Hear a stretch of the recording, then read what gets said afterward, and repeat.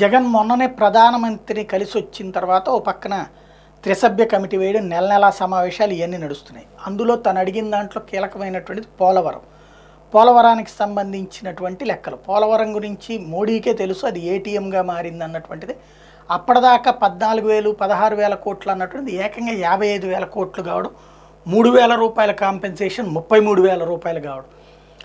అందుకని ఆపుతా వచ్చారు. బట్ ఇక్కడ దర్యాప్తుకి ఏమీ ఆదేశించలేదు. ఎందుకంటే అది ఆదేశిస్తే ఆటోమేటిక్గా నిర్మాణం ఆగిపోతుంది. ఇక అది శాశ్వతంగా ఆగిపోతుంది అన్నటువంటి భయం.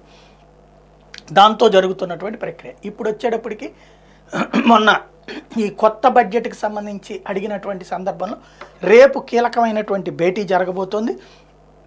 పోలవరం ప్రాజెక్ట్ డిజైన్ల మీద బుధవారం కీలక సమావేశం జరగబోతోంది. చాలా ఏళ్ళుగా పెండింగ్లోనే ఉన్న అత్యంత ప్రాధాన్యం కలిగిన డిజైన్లపై dam design review panel DDRP chairman AB Pandya అధ్యక్షతన జరిగే సమావేశం సమీక్షించబోతోంది. దిగువ coffer dam earth cum rockfill dam ECRF డిజైన్ల మీద చర్చిస్తుంది.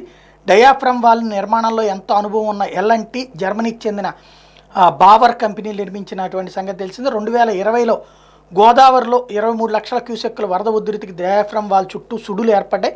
ఫలితంగా అక్కడ భారీ గొయ్యి ఏర్పడింది. దాన్ని పూడ్చే ప్రక్రియపై డీడీఆర్పీ పలుమార్లు సమావేశమైనప్పటికీ తుది నిర్ణయం తీసుకోలేదు. ఈ నేపథ్యంలోనే బుధవారం పోలవరం ప్రాజెక్ట్ అథారిటీ ఆధ్వర్యంలో డీడీఆర్పీ భేటీ కాబోతుంది.